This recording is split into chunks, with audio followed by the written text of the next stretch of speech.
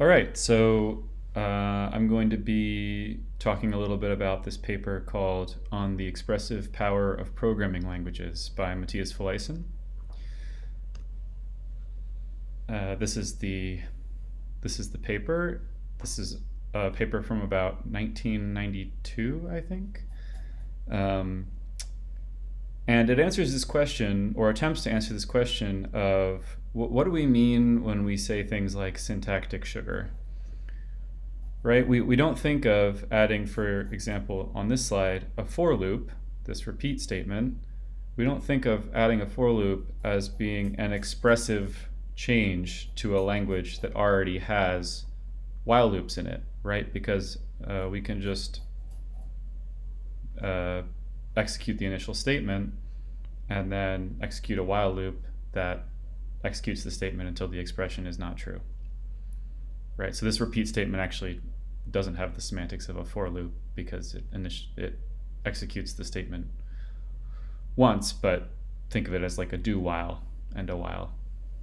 Um, right, similarly, uh, here's another example of something that we consider to be syntactic sugar. For example, a let statement in a language that already has functions, right? So a let statement just says, I can bind a variable x to some value in an expression. Well, that's the same as just having a lambda function over that same expression e with a binder x and then applying that thing to v.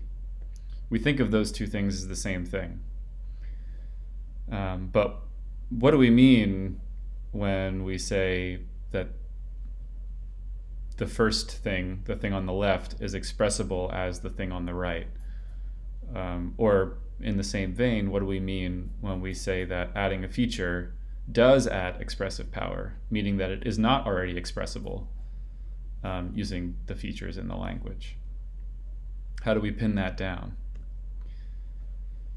So just to summarize, we're, we're concerned with this question of does some feature f add uh, expressive power to some language L? That's the question that we're attempting to answer. And so you might think that Turing completeness uh, has something to say in, in this matter, but um, actually, if you think about it for you know 10, 20 more seconds, you start to realize that the only distinction that we can make between languages with respect to Turing completeness is one is Turing complete and another one isn't. Right? So here's that doesn't work. Uh, and just to show you why, here are some examples of Turing complete languages. We have x86 machine code, right? We have PowerPoint. PowerPoint is Turing complete. Uh, we have Redstone in Minecraft. All of these Turing complete languages, and yet we think of even between these three languages, the expressiveness is totally different and equally uh, terrible. Um, Whereas, you know, languages like OCaml or C or even assembly are all more preferable language to languages to these and indeed provide completely different features to all of these things. So that's a totally uh, that's a total red herring, the idea of Turing completeness. Okay, so what about a definition that attempts to answer this question by saying that we can compile the language L with F included down to just the language L, right? So I have a language with while loops. Um, I add a feature of for loops. Well, F uh, for loops must not have been an expressive addition because I can compile that down to uh, just the language with the while loops. Well, we're getting a little bit closer, but this still does not quite capture the examples that we looked at before. Because what about things like mutable state? So mutable state, for example, if we if we take this example on the left, this is a, a little bit of JavaScript. This is just a function that's going to go over a tree. We're going to have some global variable, last was a, and we're going to go over a tree, and we're going to see if there are two consecutive nodes in the tree um, that have an A followed by uh, a B as their data contents.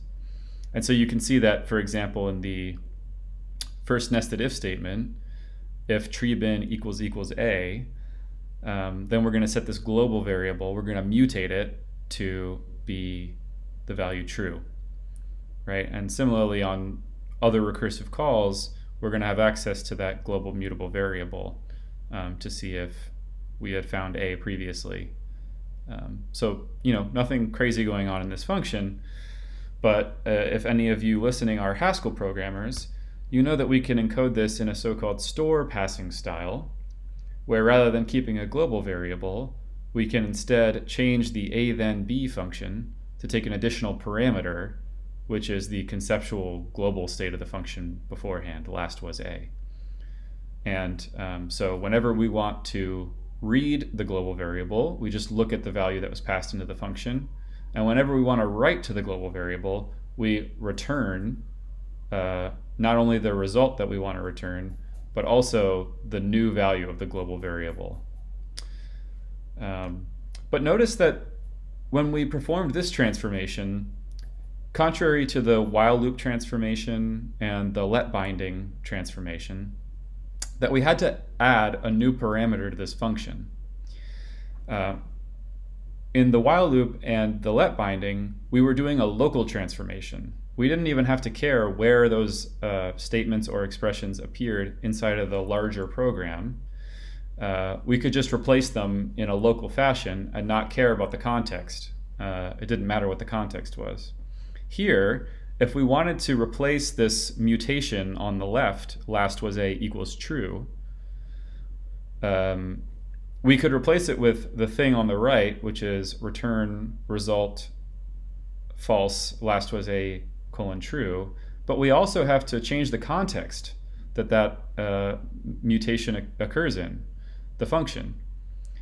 And even the callers of this function uh, we'll have to change those because they previously, in the example on the left, the function returned one value and took one value. Now we're going to have to change the rest of our program to call it the function with two values and um, accept two values as the result of the function. So this is this is a, a global transformation. Um, it's not a structure preserving transformation. In other words, features of the language that did not sort of change, like functions, are being modified as a result of adding this feature to the language. Um, and yet, this satisfies our previous definition, which was that we can compile L plus F to L. We can compile uh, JavaScript plus mutation to JavaScript without mutation by performing this store passing uh, compilation. So this is this is not quite capturing expressiveness either. So this brings us to the first key idea of this paper, which is the idea of a homomorphism, or a structure preserving mapping, where that mapping is, in the parlance that I've been using, a compiler. Uh, in other words, we want not just a compiler, but a compiler that translates every kind of construct other than the one that we added to itself. So it compiles functions to functions that don't look any different. It compiles plus to plus. It compiles, um, you know, whatever else, if to if. But then if we add some feature f, when it encounters that feature f, it's allowed to do whatever it wants. So if we look back at this example, uh, I just want to impress upon you that um, in order to compile full programs that contain repeats in them, we can just compile the outer context, the thing surrounding this expression that you see in front of you, to itself.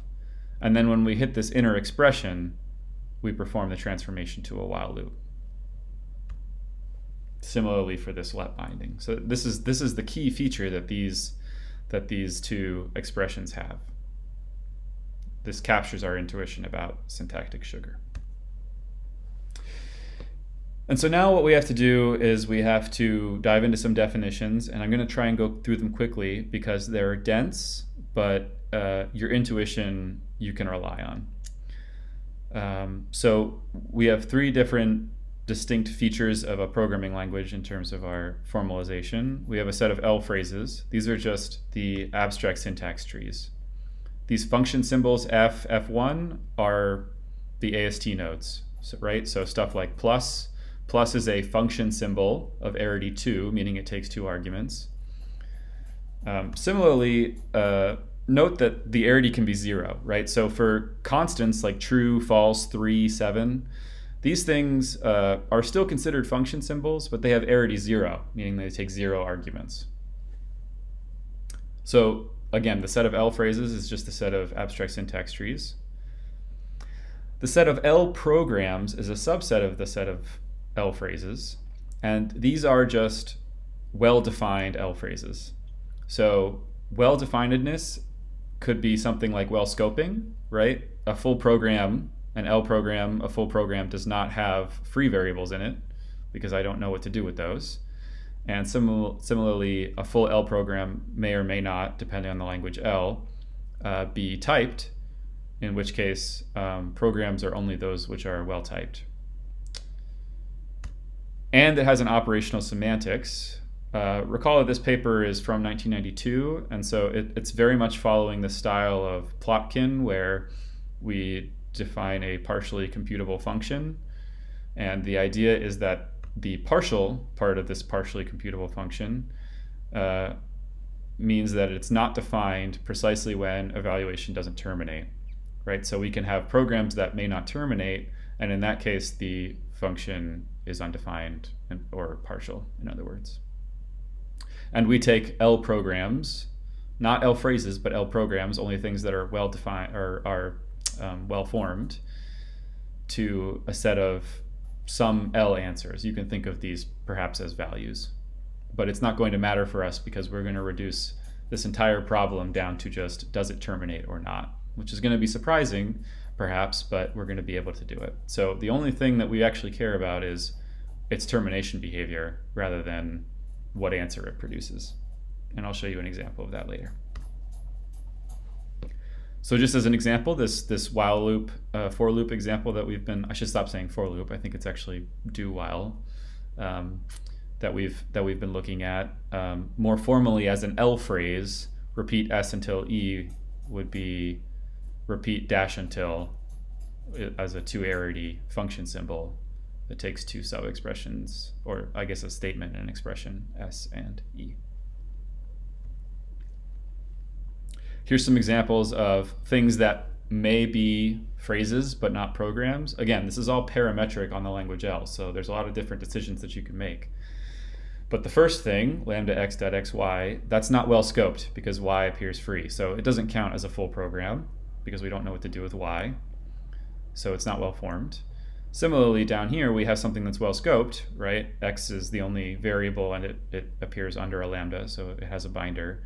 But we've declared that X has type int and that we're using Boolean true, uh, or Boolean and with true. So it's well scoped, but it's not well typed. So this is a phrase, but not a program, according to that definition. Okay, so we have languages now. We know what a language is. What is a sublanguage? Well, it's exactly what you expect it to be. Uh, the constructors of, okay, so first of all, the syntax that we're going to use is that we have some language L and that we're going to use this set difference notation with a bunch of function symbols. So you can think of L set difference F1 through Fn is a language L minus the constructs that we're removing, right? So for example, maybe your language is has do whiles and while loops. Um, then maybe you want to you want to take out do while loops, then you would say L set minus um, curly brace do while curly brace. And then the thing without the do while is a sublanguage. Uh, so the FIs are the thing the constructs that we're removing are constructs that actually exist in L. That's this first statement. The second statement is saying that the phrases in the language, the sublanguage from which we have removed a construct is a subset of the L phrases. Basically, the ASTs of the, of the sublanguage are a subset of the ASTs of the full language. The programs of the sublanguage are a subset of the programs of the super language. Maybe that's the phraseology I'll use. And finally, um, perhaps maybe a little less obvious, is that the semantics have to agree for the sublanguage with the superlanguage. Um, so for any program in the sublanguage, L set minus F1 through Fn, uh, if I run that program, uh, it better give me the same result as uh, running the program in the in the super language. Okay. So that's a sublanguage. Nothing surprising yet. Syntactic abstraction, this seems very complicated, but uh, I want you to think of it just as a fancy uh, definition for a macro.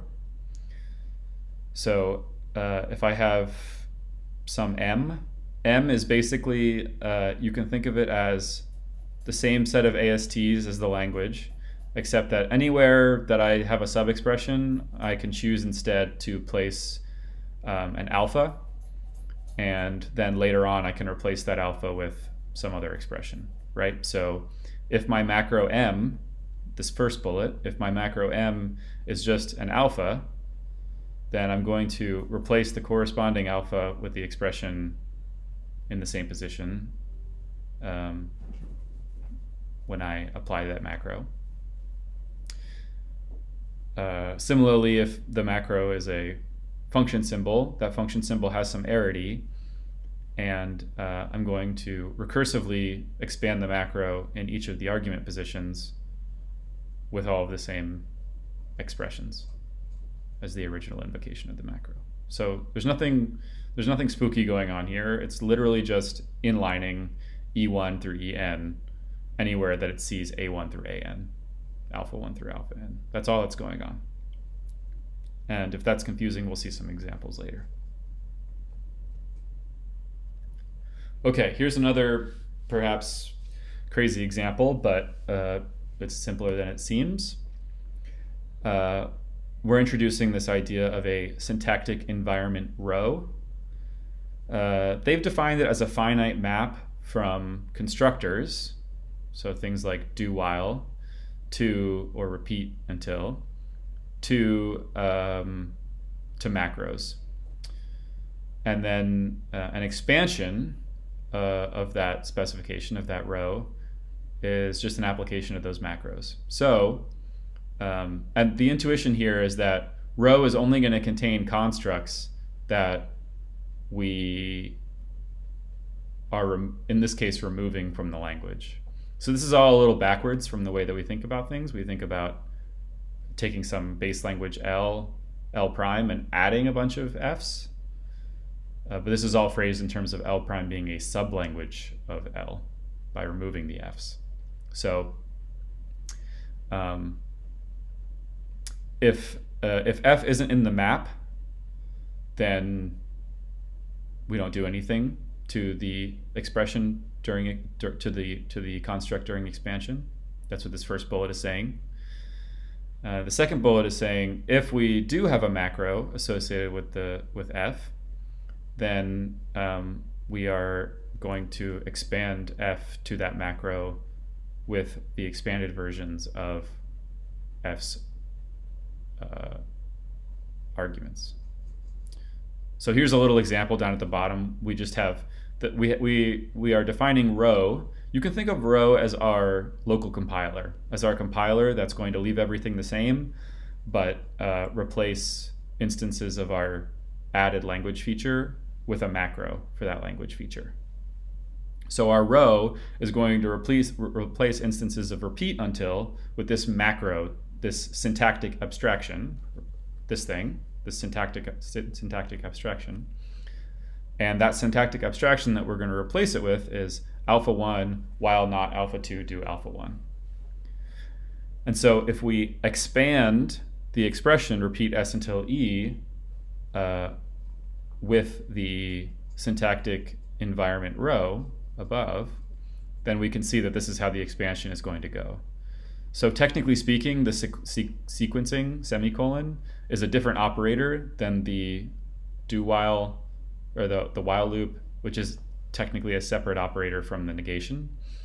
But uh, So you can see that the first the first thing that we do is we attempt to macro expand um, repeat s until e. Okay, so we replace it with the uh, syntactic abstraction uh, alpha 1 while not alpha 2 do alpha 1.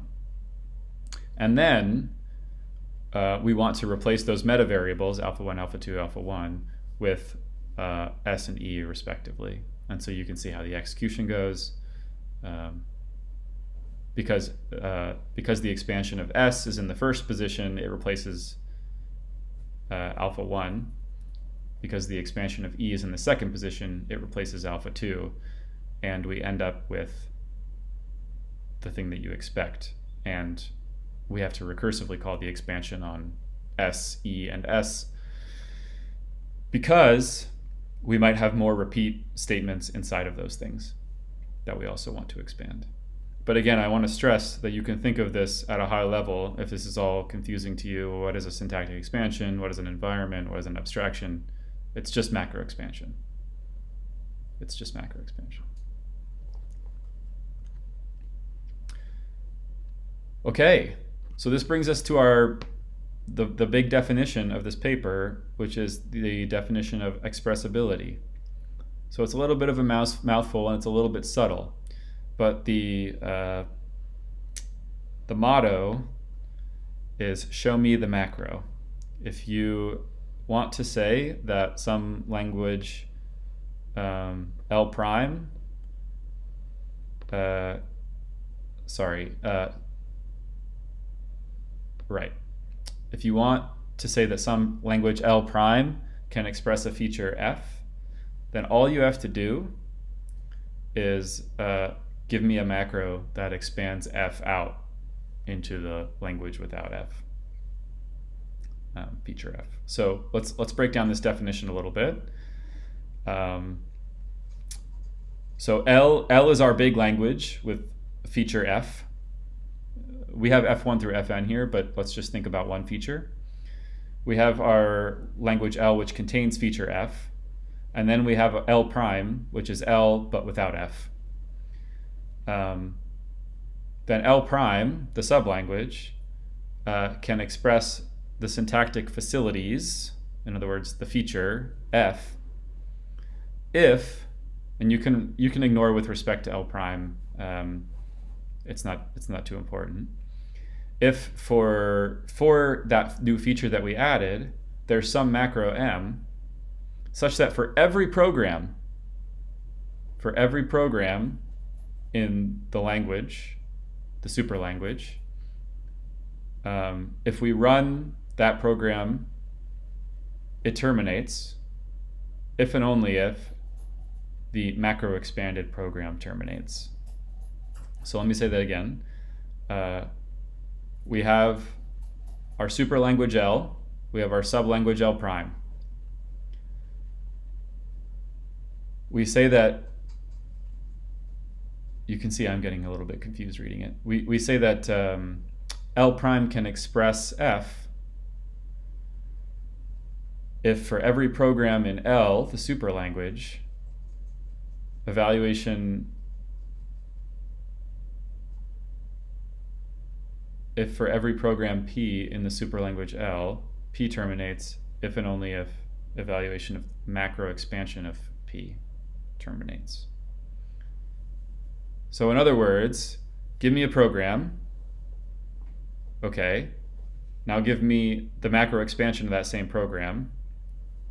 Are they do they both show the ter same termination behavior? Okay, now check it for every single program. And this is the key right? So this this may be spooky to you, or this may be seem wrong because we're we're just checking termination here, right? So let me let me propose something. Here's a macro. Uh, this macro is going to take every any integer in my language and it's going to compile it to unit, right? So this is the unit value of OCaml or Haskell that is like open paren, close paren in OCaml. Um, so it's going to take every integer, doesn't matter which one, and compile it to unit. So here I have an example that 7 macro expands to unit. So uh, this seems to satisfy our definition. Here's a macro that expresses that all numbers are the unit value, and this appears to be saying that numbers are no more expressive than unit, right? Because obviously the program integer terminates and the program unit terminates. So what's going on here? Uh, well, the trick is that this definition is for all L programs P, right? So it's not just programs that are integer literals, it's programs like the one to the bottom right. Right, so this, this program down here, if integer, huh, blah, then star else omega, omega is the infinite looping program. The uh, top example is the evaluation of the original program P in my super language. And the bottom example is the evaluation of the macro expansion of P in my sublanguage, namely the one where I have, I have macro expanded any integer down to unit. And so you can see that these two programs exhibit different termination behavior. And so, in fact, this macro does not satisfy the definition of uh, expressibility. In other words, this macro is uh, the programming language with, with integers cannot uh, express the uh, program without integers. And so for those of you who are familiar with this idea of observational or contextual equivalence, this trick that I just played should seem familiar. I took two things that would seem to be the same and I wrapped them in a context which can tell them apart.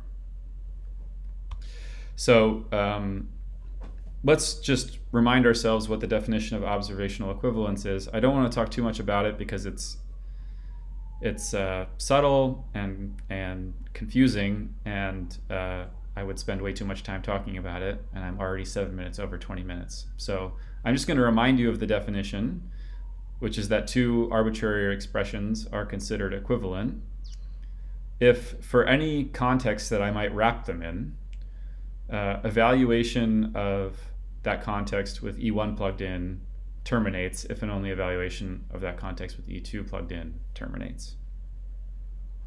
And this should look very similar to the definition for expressibility. Um, and that's not a coincidence. So um, I would like to point out that uh, adding expressive power to your language um, is not a panacea. Uh, right, so here, this, is, this example is displaying to you that according to this definition of contextual equivalence, uh, 2 plus 3 is not contextually equivalent to 5. Why? Because I can wrap them in the context which monkey patches the integer class to define plus to return the constant 7. So uh, when I add a feature to my language, like overloading in this case, uh, the intuition that you should have is that that's if it's if it's an expressive feature in the way that we've talked about, um, it's probably going to break observational equivalence. In other words, if I do happen to break observ- another way of, of flipping that around is if I do happen to break observational equivalence, you might expect that that feature that I added cannot possibly be expressive. And indeed, this is the main theorem of this paper.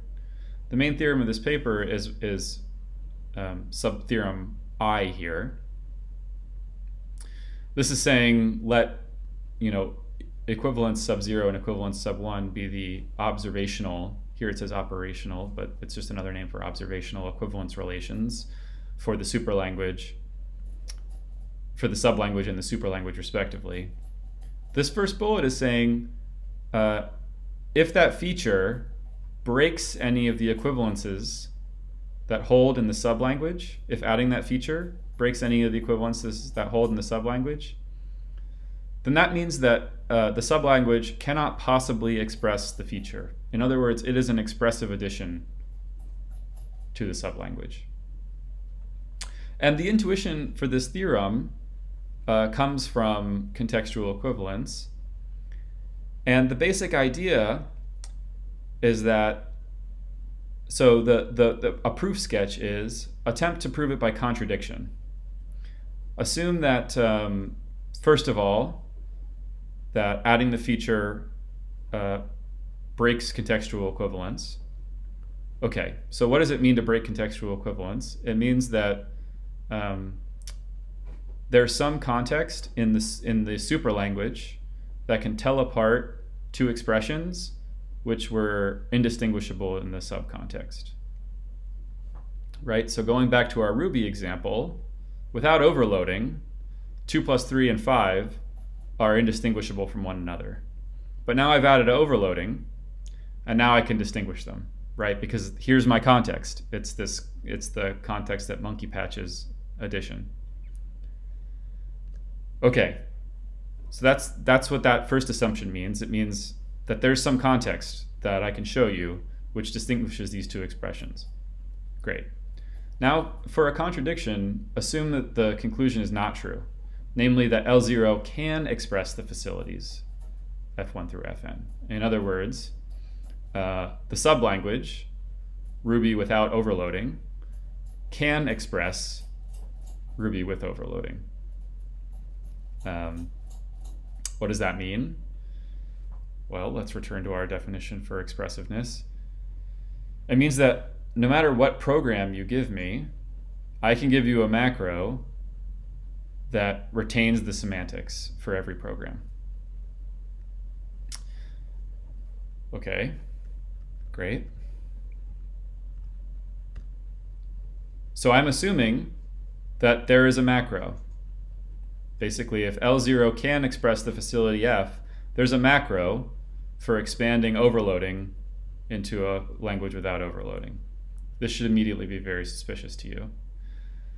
Um, and you, you arrive at a contradiction from the fact that, first of all, the translation is homomorphic, meaning it doesn't mess with anything except for instances of the new construct, in this case, overloading. And second, uh, so we assumed that there is some distinguishing context. Uh, but in the sublanguage, E0 and E1, the two expressions that are different in the superlanguage, uh, are indistinguishable.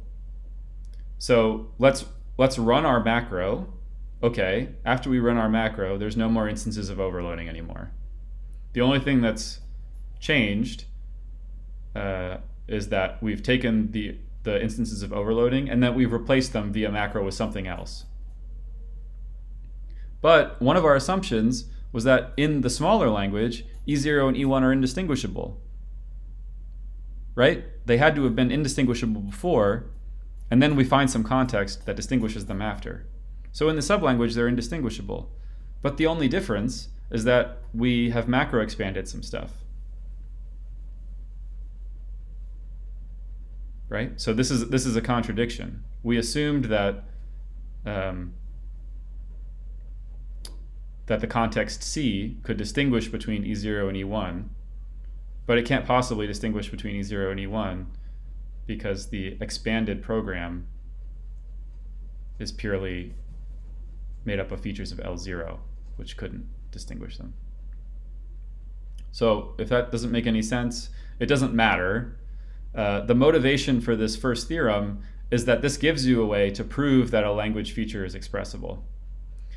Uh, if you can show that given some language, when I add a feature, it breaks an equivalence, an observational equivalence, then you then you know that that language feature can't can't be expressed with a macro. In other words, it's an expressive change. It can't be it can't be encoded using syntactic sugar. And it's very easy to show this, right? Because all you have to do in order to show that contextual equivalence has been broken is give me one context, show me one context and two expressions that were the same before but are distinguished after, right? Very easy, as we can see from this example, to show, uh, give a context that shows that something is an expressive addition. So this second part of the theorem is a little bit uh, is a little bit strange. Um, it's not intuitive, and uh, I don't really feel like I even understand it completely. Um, I'll tell you what it says.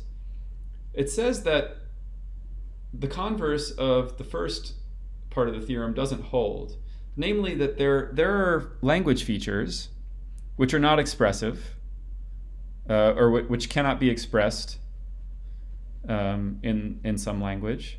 So, in other words, there are language features that you can't write a macro for, uh, but they don't they don't break any equivalences. Namely, uh, th- then this is this is a good property.